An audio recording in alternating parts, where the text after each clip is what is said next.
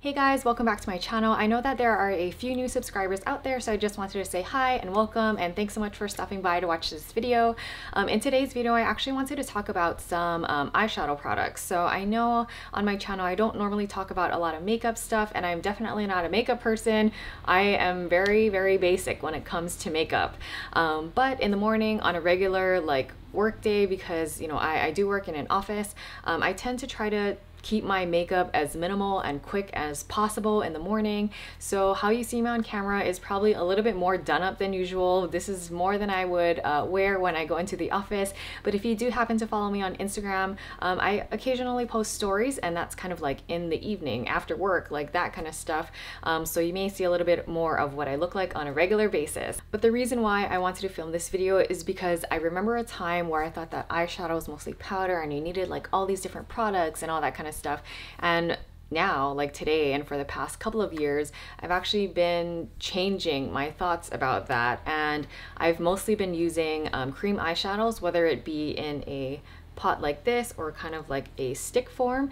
So I just wanted to talk about a couple of these products that I have been really liking. Um, and really, I only use like one color in the morning and then I go to work. So I keep it really, really simple. I also wear some of these um, just single cream eyeshadow looks in my other videos. So in case you're wondering, um, I that's not something that I did today, but in case you're wondering um, what I'm wearing, it's some of this stuff. So my plan for this video is I'm going to swatch them on my hand and also kind of show you how they blend out.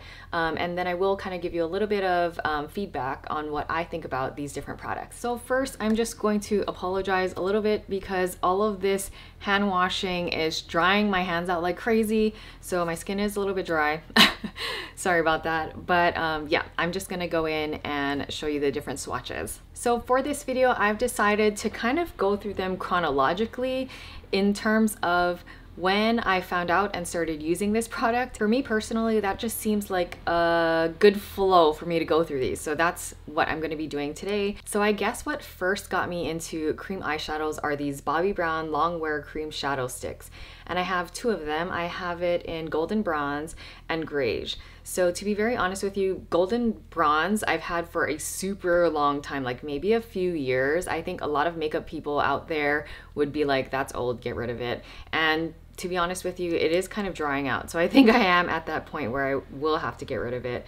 But um, Golden Bronze was the very first shadow that I got and then Greige. So this is what they look like. This is Golden Bronze. Let me just show you how it goes on. So it is very um, creamy and you can just blend them out with a finger.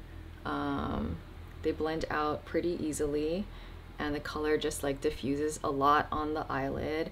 So golden bronze to me seems harder to blend out than greige. Greige for some reason is a more like soft, like creamier, formula, I guess, which I don't I don't understand why it would necessarily be different. I personally like Greige a little bit better and when I put them on my eyelid, I don't put on this much. Like this is coming through like pretty strong. Like for me, this would be like too much to wear. Like this would be too dark to wear to work.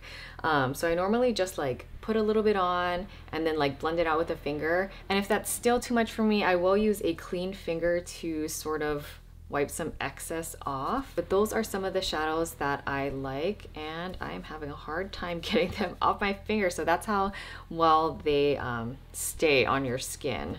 I'm just like scrubbing away with this wipe. So this is a simple um, cleansing wipe that I'm using and it's still kind of there, but um, mostly gone. So I'm just gonna let this dry off and I will show you some other swatches. So up next, I have these two from Laura Mercier. So I have a matte color. Um, these are called the Caviar Stick Eye Colors.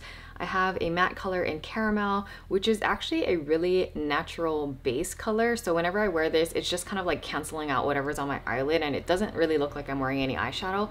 And this other color that I have is called Amethyst. So this one is tiny because it came in a little set and I think sometimes they give these away like gift of purchase style. Um, but this one actually came in a set during like a holiday season with a couple of other colors. So the other colors I haven't really used yet, to be honest with you guys. Um, they're just not really colors colors that I would I feel like I would put on my eyes, but amethyst is one that I really like, so that's what that looks like. And again, I would not use this much actually like on my eye. Um, here is caramel. Like usually I just be like, and call it a day and then blend this out. Um, but I know it's a little bit more difficult to see on camera. And these, I actually feel like they stay on really, really well throughout the day. Um, if I had to choose a stick, I would definitely go with the Laura Mercier for staying power and I think like the Bobbi Brown for the color options. Um, but this is what amethyst and caramel look like um, on the back of my hand. Um, but yeah, I really like caramel if I'm just kind of like, uh, I kind of want to look a little bit more put together for work, but I'm not really about to be like putting colorful eyeshadow on my eye, which none of these are necessarily colorful um, in my opinion, and probably, I mean, they're not like blue or green or anything crazy like that. Um, amethyst is kind of like a light purple color, um, but it does look pretty natural on the eye. So these are the two from Laura Mercier. I really like these, um, and I have a couple more potted ones that I want to show you guys. So to back up just a little bit, I know I mentioned that I was gonna go through these in like chronological order from when I was introduced to them. So for the Laura Mercier, I actually had amethyst long before I had caramel. So caramel is a newer um, color for me um, and in a matte. So this is the first like matte Laura Mercier eye um, pencil that I've tried um, for their shadows. But yeah, I've been using Amethyst for like a couple of years now and I really liked it. So anyways, just wanted to clear that up. Caramel is a newer color to me, maybe in the past few months. I definitely want to try more of the colors though. So this next one I have here is by Charlotte Tilbury and it comes in a pot. So this is actually the first potted cream eyeshadow that I ever tried. Um, I am really interested in trying a couple of others that I've seen online, um, but I think I just want to see like more swatches and that kind of stuff or in person if possible because at the end of the day, I want to make sure I'm getting colors I'm going to use and not ones that are going to go to waste because I, you know, bought a lot of random stuff in my younger years, maybe like 10 years ago, and I wasted a lot of stuff and I try not to do that anymore. But this one is called, um, it's Eyes to Mesmerize, is this line of uh, cream eyeshadow, and this is in the color Marie Antoinette. So this is a really nice like champagne color and I've used quite a bit of this.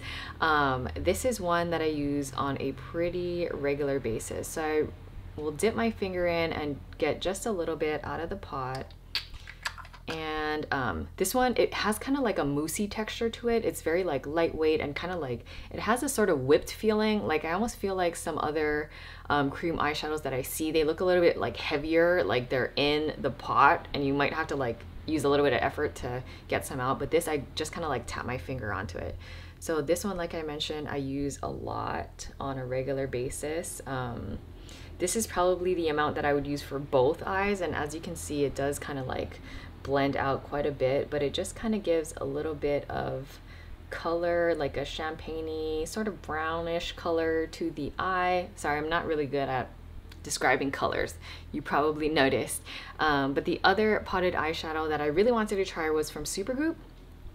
Mostly because I think this is one of the only ones that have SPF of any kind in them. So these are broad spectrum sunscreen SPF 30 and this Supergoop colors are golden hour and sunset. So i personally like sunset um, color wise a lot more than golden hour only because it's something that i could use on an everyday basis and actually look like i'm wearing eyeshadow. So as you can see i've used a little bit of this. Um, it has a little bit of more of like a spongy, like bouncy texture as compared to the Charlotte Tilbury.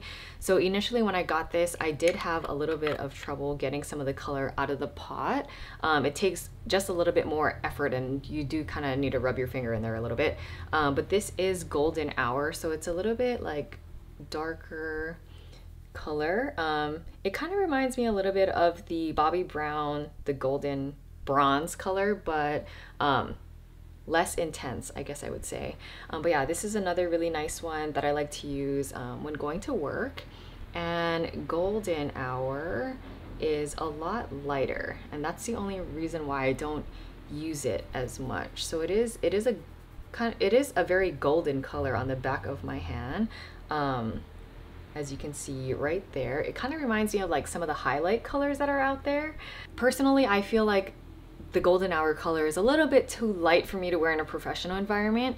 Um, I think, you know, at times where I do wear this one, I hold back a little bit on it because it is rather bright but I do really like these eyeshadows I think it's really cool that Supergoop thought to put um, SPF in there because I mean, SPF is a huge anti aging thing. You know, like we should be wearing SPF all the time for numerous reasons sun damage, um, you know, exposure.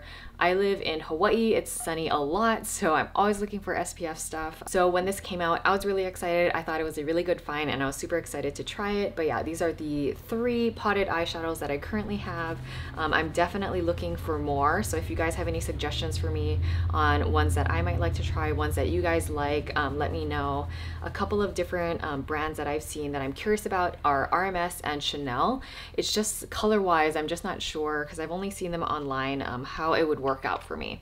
But anyways, I hope you guys enjoyed watching this video. If you like this video, um, give it a thumbs up. Um, if you tried any of these products or have any recommendations for me, don't forget to leave that information for me down in the comments below. And if you want to see more videos like this, don't forget to hit subscribe. Um, like I mentioned, I don't really do a lot of makeup videos, but if you're wondering about any other makeup stuff that I use or like, um, just let me know down in the comments and I'll put it on my list of videos to make in the future. Thanks so much for watching and I'll see you guys next time. Bye!